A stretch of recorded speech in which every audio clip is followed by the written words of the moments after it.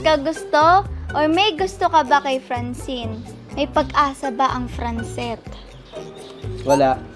Wala kasi mas gusto ko sa Dre. Wow! Baka kasi ayaw mo lang mag-shot ng matika. Sabi sa inyo eh, huwag niyong pakomplikahin. Dumiretso na lang kayo ng sagot. Hindi, Ali. Totoo yan. Ang content mo nga maging totoo, di ba? So, Naging totoo yan. ako. Baka kasi may mag-comment, takot ka lang kasi mag-shot ng mantika. Mantika lang yan. Ano ka ba?